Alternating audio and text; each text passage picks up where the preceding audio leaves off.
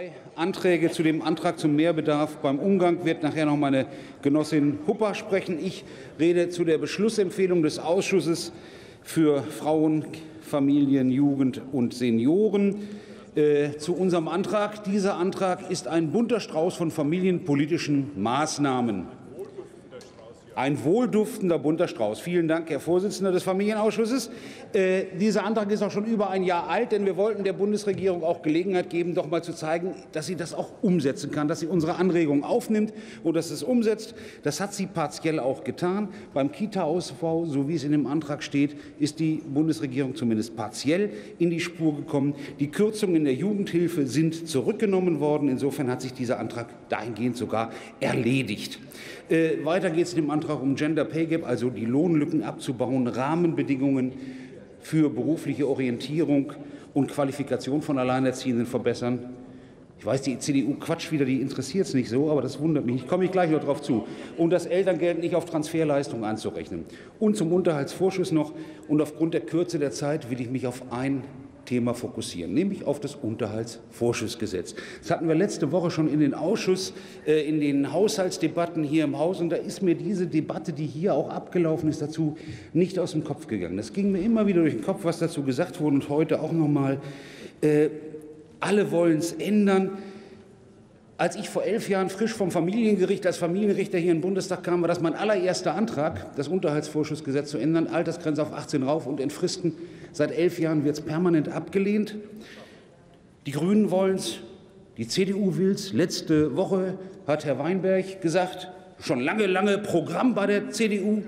Frau Pahlmann heute Mittag von der CDU hat gesagt, das haben wir in den letzten acht Monaten vorangetrieben, in den acht Monaten in den letzten vorangetrieben. Die SPD bringt jetzt das Gesetz. Der Koalitionsausschuss hatte sich darauf verständigt und geeinigt. Die Ministerpräsidenten aller Länder haben es einstimmig beschlossen. So, im Rahmen der Neuregelung der, Bunde, des, des Bund, der Bund-Länder-Finanzausgleichsregelung. Dann bringt Frau Schwesig den Gesetzentwurf dazu. Kann man sagen, okay, das Kindergeld wird immer noch voll angerechnet. Das ist vielleicht ein Mangel, aber das ist auch der einzige Mangel. Den bringt sie ins Kabinett. Und dort wird er auch im Kabinett beschlossen. Dann soll er hier auf die Tagesordnung und dann wird er wieder zurückgenommen. Und warum? Weil die CDU blockt. Die CDU blockt. Kauder sagt, ich bringe den nicht ein, solange die Finanzierung nicht steht. Auf der anderen Seite sagt die CDU, seit acht Monaten haben wir das vorangetrieben. Jetzt steht die Finanzierung nicht. Die Länder sagen, wir haben das Personal nicht. Wer soll es bezahlen? Schäuble zieht sich aus der Verantwortung zurück, hat zwar 18 Milliarden Überschuss, aber sagt, oh Gottchen, dafür haben wir kein Geld. Vorher sagte er, wir haben Spielraum. Die Länder und Kommunen, ja, natürlich. Aber wissen Sie, das ist ein Argument, was vor fünf Jahren, blöd, dass ich mich so gut erinnern kann, nicht galt. Da wurde die Zahl der Amtsmündel auf 50 reduziert und es wurde eine Gewährleistung oder eine Garantie der Amtsvormünder eingeführt für das gedeihliche Fortkommen ihrer Mündel. Da habe ich damals gesagt, als das sofort umgesetzt werden sollte, da haben die Jugendämter überhaupt nichts Personal für. Da hieß es, das müssen wir machen, wir müssen das jetzt machen, denn wenn wir so ein Gesetz nicht haben, machen die Länder nichts. Und das scheint ja auch so zu sein, wenn das stimmt. Seit acht Monaten ist es vorangetrieben, aber in den Ländern ist nichts passiert. Also brauchen wir dieses Gesetz, damit in den Ländern endlich was passiert. Am 8. Dezember also in, in, sechs Tagen, ja, in sechs Tagen, ich bin sofort fertig, trifft sich Finanzminister Schäuble wieder mit den Ländern. Und da hoffe ich mal, dass ihr von der CDU ihm einen ordentlichen Schubs gibt, damit er da mal endlich sein Portemonnaie aufmacht und nicht wie Gollum auf seinem Geldberg sitzt. Und dann, und dann das finanziert. Im Interesse der betroffenen Kinder. Björn Wunderlich war das für die Linke ja einen neueren und einen älteren Antrag hat die Linke hier vorgelegt und in der Tat in diesem, der ungefähr vor einem Jahr hier schon mal beraten worden ist. Da geht es auch um die Reform des Unterhaltsvorschusses im Moment ja ganz aktuell, denn bei dieser Reform, da könnte es zumindest zeitlich etwas haken. Und deswegen ist es natürlich auch bei dieser Debatte hier Thema. Gudrun Zollner jetzt für die CDU-CSU-Fraktion. Anträge der Fraktion Die Linken vom November 2015 geben mir heute mal die Gelegenheit, dass die Bundesregierung bei der Unterstützung und Entlastung von Alleinerziehenden keineswegs versagt hat, wie Sie in Ihren Anträgen unterstellen. Vielmehr schafft die Regierung im Rahmen einer modernen und zukunftsweisenden Familienpolitik kontinuierlich Bedingungen, um den sorgenden Eltern die nötige Anerkennung zukommen zu lassen und ihnen eine eigenständige Perspektive für eine Lebensgestaltung ihres Lebens zu geben. Wir investieren massiv in unsere Familien. Ich nenne hier nur den Ausbau der Kinderbetreuung unter Dreijährige, das Programm Kita Plus für erweiterte Öffnungszeiten. Wir haben den Entlastungsbetrag für Alleinerziehende erhöht. Gleiches gilt für den Kinderzuschlag, den wir 2017 nochmals aufgestockt werden. Und so weiter und so weiter. Insgesamt macht der Familienetat im nächsten Jahr 9,5 Milliarden Euro aus und liegt dabei vor den Etats des Bundesinnenministeriums, des Wirtschafts- und Finanzministeriums. So. Sie sprechen in Ihrem Antrag auch die Vereinbarkeit von Familie und Beruf an. Natürlich haben die Alleinerziehenden besondere Bedürfnisse. Dabei profitieren alle Familien von der verbesserten Betreuungsinfrastruktur. Und da die Unternehmen sehr wohl wissen, was sie an gut ausgebildeten Frauen haben, bieten sie längst eine flexible Arbeitszeitgestaltung an, was im Übrigen auch den Vätern zugutekommt. Die von ihnen geforderte Teilzeitausbildung gibt es längst und die bestehende Lohnlücke wird durch das Entgeltgleichheitsgesetz auch geschlossen, wenn Familienministerin Schwesig dazu ihren Gesetzeswurf vorlegt. Am Anfang dieser Wahlperiode wurde der gesetzliche Mindestlohn eingeführt, auch das eine Verbesserung für Alleinerziehende. Und ihre Forderung, ich zitiere, auf eine unverzügliche Erhöhung des gesetzlichen Mindestlohns auf 10 Euro sollten Sie aber doch besser in einem anderen Antrag stellen. Sehr geehrte Kolleginnen und Kollegen, da ich bei jeder Familiendebatte hören muss, dass angeblich die Union den Unterhaltsvorschuss blockiert, möchte ich hier schon einmal klarstellen. Im Juli 2016 haben wir Familienpolitiker der CDU-CSU uns schriftlich an den Bundesfinanzminister gewandt, um die Erhöhung des Bezugsalters von 12 auf 18 Jahren sowie den Wegfall der Bezugsdauer von 72 Monaten voranzutreiben. Ich benutze jetzt auch dieses Wort. Danach hat auch das Familienministerium unsere Forderung unterstützt. Keine andere Maßnahme kommt den Alleinerziehenden so zugute wie diese. Sehr geehrte Damen und Herren, es ist mir aber völlig unverständlich und auch nicht hinnehmbar, dass sich 50 Prozent aller Unterhaltspflichtigen dieser finanziellen Unterstützung ihrer Kinder entziehen und gar nichts bezahlen und weitere 25 Prozent nur unregelmäßig und nicht in voller Höhe. Das müssen wir ändern, und das werden wir ändern. Dazu gibt es einen Kabinettsbeschluss, und bei der Konferenz der Regierungschefs von Bund und Ländern im Oktober dieses Jahres wurde bei der Neuregelung des bundesstaatlichen Finanzausgleichssystems das auch so beschlossen. Aber eines muss uns auch klar sein. Wir können nicht im Dezember ein Gesetz verabschieden, das bereits im Januar umgesetzt werden soll. Damit würden wir die Kommunen administrativ überfordern. Denn wir von der Union nehmen die Anliegen der Kommunen ernst. Diese müssten erheblich mehr Personal einstellen, um die steigenden Anzahlen an Anträgen bearbeiten zu können. Meine Kollegin Christina Schwarzer hat vergangene Woche an dieser Stelle die Zahlen ihrer Kommune Neukölln vorgerechnet, wonach sich die Mitarbeiterzahl verdoppeln würde. Verdoppeln und erhöhen sollten die Länder auch die Rückholquoten. Bayern liegt mit 36 Prozent weit an der Spitze, wogegen zum Beispiel Bremen dauerhaft mit nur 11 Prozent das Schlusslicht bildet. Dabei bleibt aber immer noch das Hauptproblem. Sie wissen so gut wie ich, dass der Bund nicht alleine in Vorleistung geht. Der Bund zahlt nur ein Drittel der Kosten, die Länder zwei Drittel. Und eben bei den Ländern regt sich Unmut über die Finanzierung und Familienministerin Schwesi konnte hier leider noch keine Einigung erzielen. Deshalb würde ich Sie, werte Kolleginnen und Kollegen, darum bitten, auch einmal mit Ihren Vertretern im Bundesrat ein Wörtchen zu reden. An elf Bundesländern sind die Grünen beteiligt, Sie von der Fraktion Die Linken an drei. Beide Parteien mit je einem Ministerpräsidenten. Warum stellen Sie Ihre Forderungen nicht einmal nachdrücklich an Ihre Landesvertreter? Denn noch einmal, nicht die CDU-CSU blockiert hier, sondern die Verantwortlichen der anderen Parteien. Beschließen und ankündigen alleine reicht nicht. Man muss schon dafür sorgen, dass die Umsetzung und die Finanzierung auch gesichert ist. Das ist mein Verständnis von verantwortungsvoller Politik. Deshalb ist es vernünftig, wenn das Gesetz zur Ausweitung des Unterhaltsvorschusses zum 1.4. oder 1.7. mit Rückwirkung zum 1.1. beschlossen wird. Sehr geehrte Kolleginnen und Kollegen der Opposition, für vieles, was von Ihnen gefordert wird, ist der Bund nicht zuständig. Dort, wo Sie in Verantwortung sind, hindert Sie niemand daran, Ihre Forderungen auch umzusetzen. Deshalb lehnen wir auch, wie in der Beschlussempfehlung, Ihren Antrag ab. Sie schreiben immer wieder Anträge, ohne mit einem einzigen Wort die Finanzierung zu erläutern. Im Gegensatz zu, dazu bringen wir Unionspolitiker Gesetze ein, die dann auch umgesetzt werden und, wichtig, auch finanzierbar sind. Wir reden nicht nur, wir handeln. Und weil wir Familienpolitiker der CSU nicht nur an die Alleinerziehenden von heute denken, sondern auch an die, die vor 1992 Kinder zur Welt gebracht haben, fordern wir die Gleichstellung aller Mütter bei der Rente. Sehr geehrte Kolleginnen und Kollegen, was alleinerziehende Mütter und Väter im Alltag an Herausforderungen bewältigen, um neben allem anderen für ihre Kinder da zu sein und sie bestmöglich zu unterstützen, weiß ich aus eigener Erfahrung. Deshalb sehe ich es auch als meinen größten Arbeitsauftrag hier im Deutschen Bundestag, so viel als möglich für diese Einelternfamilien zu erreichen.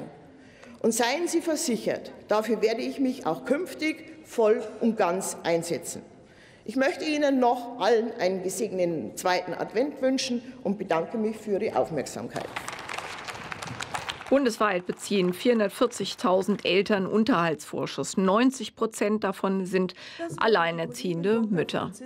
Würde die Reform des Unterhaltsvorschusses jetzt so kommen, wird damit gerechnet, dass 260.000 Kinder zusätzlich profitieren würden von dieser Ausweitung. Franziska Brandner jetzt die nächste hier in der Aussprache von den Grünen. Alleinerziehenden sind die am schnellsten wachsende Familienform, aber leider auch die ärmste. Viele Alleinerziehende rutschen in die Armut da drei Viertel von ihnen keinen oder keinen ausreichenden Kindesunterhalt vom anderen Elternteil bekommen. Hier springt der Staat mit dem Unterhaltsvorschuss ein. Wir haben es heute gehört, nur maximal bis jetzt für sechs Jahre und nur bis zum zwölften Lebensjahr des Kindes. Diese Absurdität wurde zum Glück mittlerweile von allen erkannt. Und seit dem Sommer haben wir seither hier ein Zickzack hin und her. Erst wurde von der Ministerin verkündet, es wird auf 14 angehoben, ein paar Wochen später auf 16, dann mischte sich Herr Gabriel ein, sagte auf 18, dann sagte Frau Schwesig, ach doch, auch auf 18. Und irgendwann kündigte übrigens Frau Schwesig noch an, man würde jetzt auch den säumigen Vätern den Führerschein entziehen. Das war Teil dieser ganzen Debatte. Dann kam das Versprechen, Ab dem 1. Januar 2017 fallen alle Beschränkungen. Dann kam das ins Kabinett, wir haben es gehört, aber ohne eine finanzielle Einigung dazu mit den Ländern. Das, sehr geehrte Damen und Herren, nennt man klassischerweise einen ungedeckten Scheck. Das ist ein leeres Versprechen, wenn das Geld dafür nicht gesichert ist. Und jetzt haben wir die Situation, dass sich CDU und SPD gegenseitig den schwarzen Peter hin und her schieben und Frau Schwesig einfach sagt, es sind die Länder, machen Teile von ihnen auch. Er war's, er war's, sie war's, sie war's. Das ist doch kein konstruktives Politikmachen und Regieren, sondern ein verantwortungsloses Handeln auf dem Rücken der Alleinerziehenden, liebe Damen und Herren. Und es bleibt festzuhalten, Frau Schwesig hat so spät agiert, ja, und hat zweifelhafte Zahlen für die Länder vorgelegt, dass die auf jeden Fall die gesagt haben, die stimmen nicht. Es wurde in Vereinbarungen nicht genug schriftlich festgehalten und jetzt haben wir das Chaos. Wir wollen keine Engel der Alleinerziehenden, sondern gutes Regieren. Das können wir von ihnen erwarten. Das haben wir in diesem Fall leider nicht gesehen.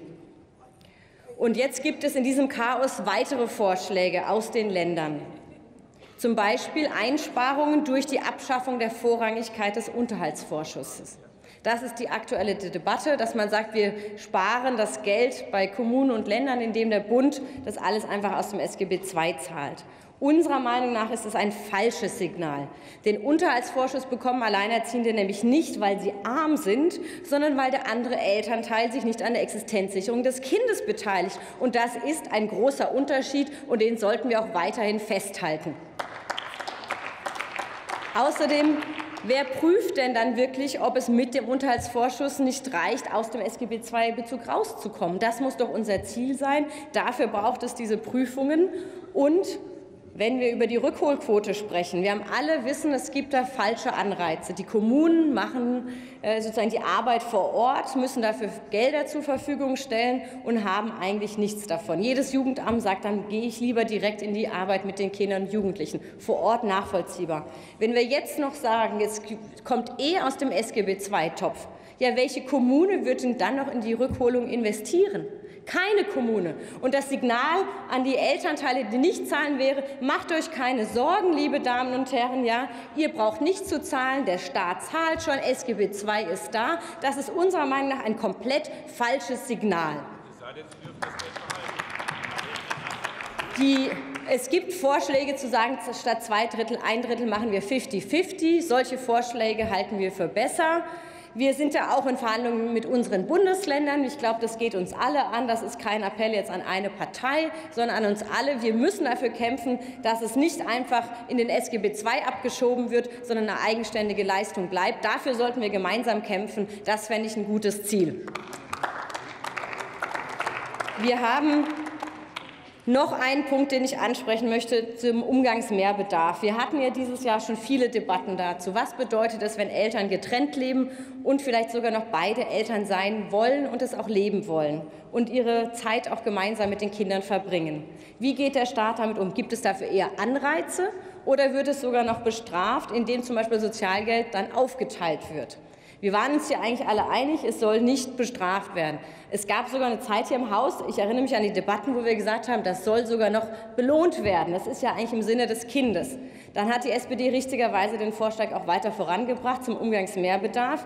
Jetzt hören wir, an 60 Millionen scheitert es. Das kann doch nicht wirklich sein. Das muss doch möglich sein, dass wir hier die richtigen Anreize setzen, dass Eltern gemeinsam sich um ihre Kinder kümmern. Diese 60 Millionen, die müssen drin sein. Ich fände es sehr wichtig, wenn wir hier gemeinsam dieses Signal senden an Herrn Schäuble. 60 Millionen für gute Familien, die zusammen ihre Kinder erziehen. Das muss möglich sein. Existenzsicherung geht vor vor. Ich danke Ihnen. Franziska Brandner war das für die Fraktion Bündnis 90 Die Grünen, die Kinder- und familienpolitische Sprecherin. Nun hören wir Gabriele Hiller-Ohm für die Sozialdemokraten. Frau Präsidentin, meine sehr verehrten Damen und Herren auf den Zuschauertribünen, liebe Kolleginnen und Kollegen. Ja, alleinerziehende Eltern müssen entlastet werden, denn sie sind die Heldinnen des Alltags. Ohne Wenn und Aber. Und glauben Sie mir, ich weiß, wovon ich rede. Die Linke fordert in beiden vorliegenden Anträgen weitere Verbesserungen für Alleinerziehende. Ich werde mich auf äh, den Antrag zum Umgangsmehrbedarf beschränken. Äh, es ist gut, liebe Kolleginnen und Kollegen der Linken, dass Sie sich mit diesem Thema befassen, und es ist richtig, dass wir hier im Bundestagsplenum darüber debattieren. Und es ist ganz wichtig, dass wir uns für Alleinerziehende und deren Kinder stark machen. Denn sie sind immer noch in ihren Lebenschancen stark benachteiligt. Das, liebe Kolleginnen und Kollegen, müssen wir ändern. Wir wollen eine Gesellschaft, in der Eltern, Mütter, Väter und Kinder gut leben können.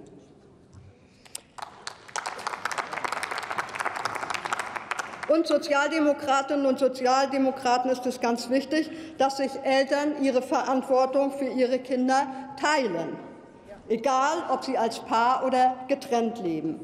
Das muss für alle möglich sein. Und das muss dann natürlich auch für Eltern gelten, die Sozialleistungen erhalten, also auch für arme Eltern. Alleinerziehende Eltern müssen finanziell so ausgestattet sein, dass sie die Kinder bei beiden Eltern äh, leben und bei ihnen zu Besuch sein können. Das ist ganz wichtig, dass das für die Kinder möglich ist. Ich finde, das ist eine Selbstverständlichkeit und das darf am Geld nicht scheitern. Liebe Kolleginnen und Kollegen, der Antrag der Linken geht genau in die richtige Richtung. Auch wir Sozialdemokratinnen und Sozialdemokraten wünschen uns einen finanziellen Ausgleich für den Mehrbedarf, der bei alleinerziehenden Eltern, die Hartz IV beziehen, durch die wechselseitige Betreuung der Kinder anfällt. Heute ist es so, dass die Sozialleistungen für die Kinder genau abgerechnet werden und dann dem Elternteil zugeschlagen werden, bei dem sich das Kind gerade aufhält. Wenn das Kind also normalerweise bei der Mutter lebt und nur am Wochenende beim Vater ist, wird der Mutter das Geld für die Wochenendtage vom Hartz IV abgezogen. Das ist eine wirklich schlechte Lösung, denn die Mutter hat ja auch weiterhin Kosten für das Kind, auch wenn das Kind beim Vater zu Besuch ist. Diese Regelung liebe Kolleginnen und Kollegen, ist ungerecht und verhindert oft sogar den Kontakt der Kinder zu beiden Elternteilen. Das finden wir schlecht. Hier brauchen wir also eine Lösung, die gut für die Eltern und gut für die Kinder ist. Eine Lösung, die obendrein das, den Amtsschimmel entlastet, den die derzeitige bürokratische Last der Tage- und stundenweisen Abrechnungen schon jetzt fast zusammenbrechen lässt. Liebe Kolleginnen und Kollegen, Leider haben wir bei dieser wichtigen Forderung unseren Koalitionspartner, will mal sagen, noch nicht auf unserer Seite. Das ist wirklich schade, denn hier könnten wir gemeinsam mehr Gerechtigkeit für Menschen schaffen, die ganz dringend auf unsere Unterstützung angewiesen sind. Wir werden aber nicht locker lassen. Wir werden aber nicht locker lassen. Und vielleicht gelingt es uns ja auch, dass wir äh, in diesem Punkt noch etwas auf die Beine stellen. Dass dies nicht unmöglich ist, zeigen die letzten drei gemeinsamen Regierungsjahre. Mit der CDU, CDU äh, CSU haben wir als treibende Kraft ja viel auf die Beine gestellt. So haben wir erreicht, dass berufstätige alleinerziehende Eltern steuerlich deutlich entlastet werden. Wir haben durchgesetzt, dass der Kinderzuschlag von Alleinerziehenden um 20 Euro auf 160 Euro angehoben wurde und so auch viele Mütter aus Hartz IV rauskommen. Wir investieren weiter in den Ausbau von Kitas. Mit dem Bundesprogramm Kita Plus haben wir ein Förderprogramm entwickelt, mit dem Kitas mehr Öffnungszeiten in den Morgen- und Abendstunden sowie an den Wochenenden äh, anbieten können. Und, äh, liebe Kolleginnen und Kollegen, ich muss sagen, ich wäre froh gewesen, wenn es das schon vor 20 Jahren gegeben hätte. Denn ich bin selber alleinerziehende Mutter und das war wirklich ein äh, Spagat zwischen Kinderbetreuung, guter Kinderbetreuung und Berufstätigkeit, das mit den damaligen äh, Öffnungszeiten der Kindertagesstätten zu vereinbaren. Da ist dringend Handlungsbedarf und ich finde gut, dass wir dies, dieses Programm jetzt hier auf den Weg gebracht haben. Ja, und denken Sie nur an die alleinerziehende Kellnerin zum Beispiel. Sie ist auf veränderte Öffnungszeiten angewiesen, um überhaupt berufstätig sein zu können. Also müssen wir hier auch flexible Möglichkeiten schaffen. Mit dem geplanten Unterhaltsvorschussgesetz wollen wir eine weitere wichtige Verbesserung für Alleinerziehende durchsetzen, und ich hoffe, dass uns das gelingen wird. Und ganz wichtig ist uns auch, dass wir in dieser Regierungszeit noch hinbekommen, dass Eltern bessere Möglichkeiten und Rechte haben, wenn sie Teilzeit oder Vollzeit arbeiten wollen. Dafür wollen wir einen Rechtsanspruch auf befristete Teilzeit schaffen, die ein Rückkehrrecht in Vollzeit für beziehungsweise in die alte Arbeitszeit für die Frauen beinhaltet. Ganz wichtig. Und ein großer Erfolg wäre es auch, wenn wir endlich auch ein Lohngerechtigkeitsgesetz auf den Weg bringen, um endlich auch diese Ungerechtigkeit zwischen Männer- und Frauenlöhnen zu beseitigen, die Lohnlücke zu schaffen. Wir haben es im Koalitionsvertrag vereinbart. Ich hoffe, wir kriegen das noch auf die Beine. Das wäre wirklich prima. Meine Damen und Herren, liebe Kolleginnen und Kollegen, Sie sehen, wir haben viel auf den Weg gebracht, das ist gut, aber Sie sehen ebenso, dass wir noch viel, viel Handlungsbedarf haben. Deshalb müssen wir hier weiter an diesem Thema, um eben die Benachteiligung von vor allen Dingen alleinerziehenden Müttern, um diese Benachteiligung in unserem Land endlich zu beseitigen. Gabriele Hiller-Ohm war das für die Sozialdemokraten und ihr folgt jetzt Jutta Eckenbach für die CDU-CSU-Fraktion. Das Wort hat die Kollegin Jutta Eckenbach für die CDU-CSU-Fraktion.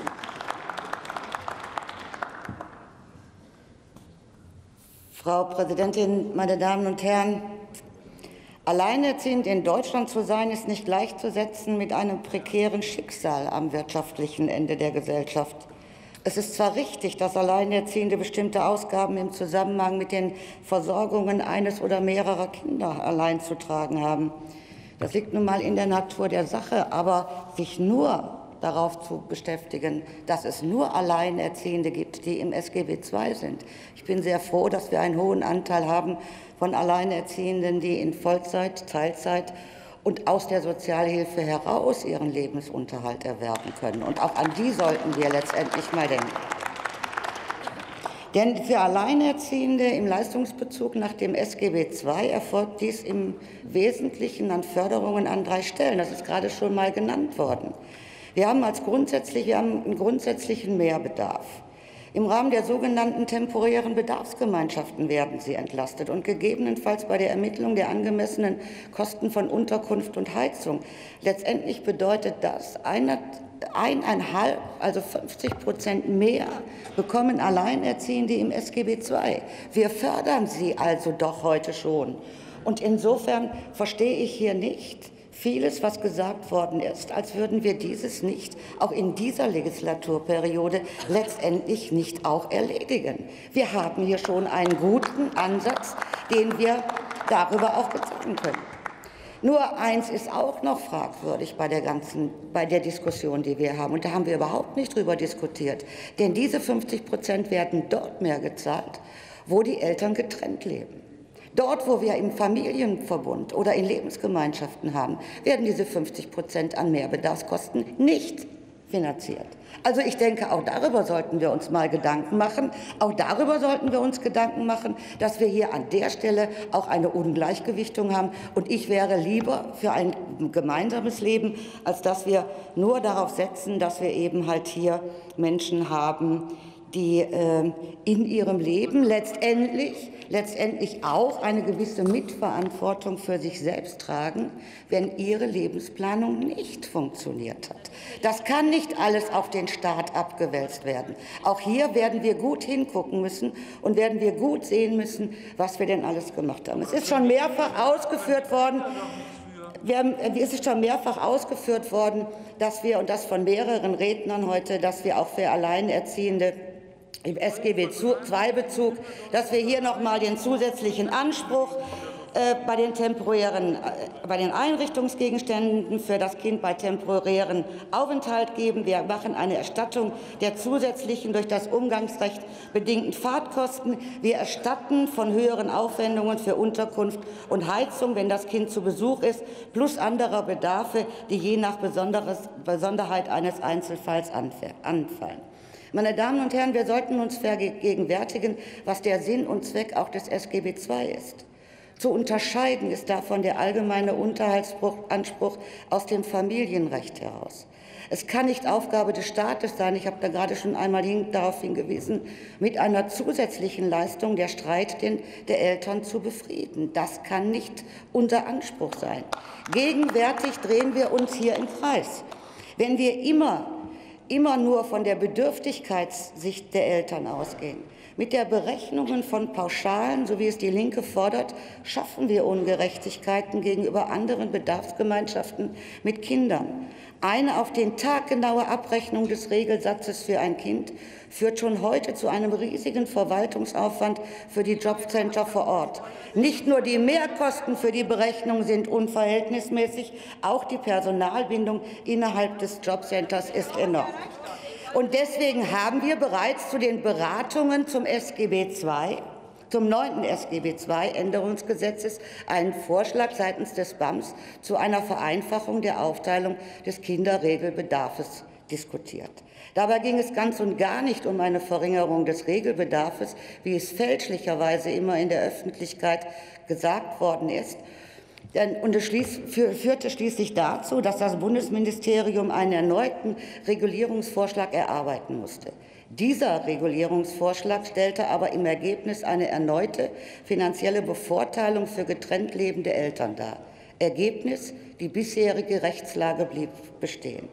Nach meiner persönlichen Ansicht wäre es durchaus wichtig, die Bedarfe für Kinder aus, auch, auch, aus deren Sicht zu sehen. Ich denke, das wäre etwas, worüber, uns wirklich, worüber wir uns wirklich noch einmal unterhalten sollten. Ansätze, wie, sie sich eine veränderte, sich, wie sich eine veränderte sich auswirken kann, zeigen die Regelungen beim Bildungs- und Teilhabepaket. Allerdings bin ich der Meinung, dass wir hier auch noch einmal hingehen müssen und müssen über das Bildungsteilhabepaket letztendlich reden, damit auch das damit auch das noch verbessert werden kann. Aber es hat den Ansatz, dass ich vom Kind aus denke. Und ich denke, das ist ein vernünftiger Ansatz, den wir auch weiter fortführen. Meine Damen und Herren, wie eingangs gesagt, sehe ich auch die Notwendigkeit, Alleinerziehende noch mehr zu entlasten und hierbei nicht nur Alleinerziehende im Leistungsbezug.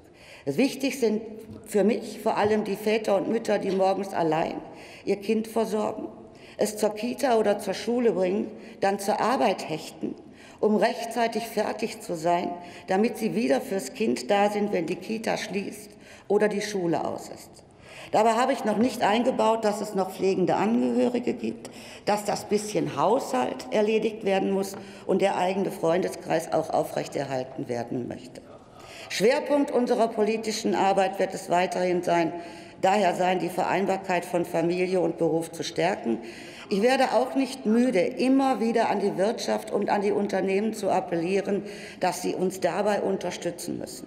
Aus meinem eigenen Wahlkreis aus Essen weiß ich, dass die Evonik ganz viel hier macht, dass sie ganz flexibel ist, dass es also auch schon Arbeitgeber gibt, die sich auf diesem Wege bewegen. Aber es wird nicht gehen, dass wir Alleinerziehende nur im SGB II unterstützen, sondern wir müssen, sie, wir müssen sie aus der Sozialhilfe rausbringen. Und dazu müssen wir ganz viele Wege finden, dass uns das gelingt. Wir als wir als Parlament sollten diese Ansätze unterstützen.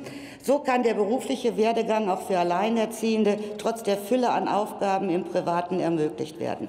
Das sollte letztendlich unser Ziel sein und nicht die Spaltung der Gesellschaft, so wie es die Linke mit ihrem Antrag offensichtlich vorhat. Dem können und wollen wir heute nicht zustimmen.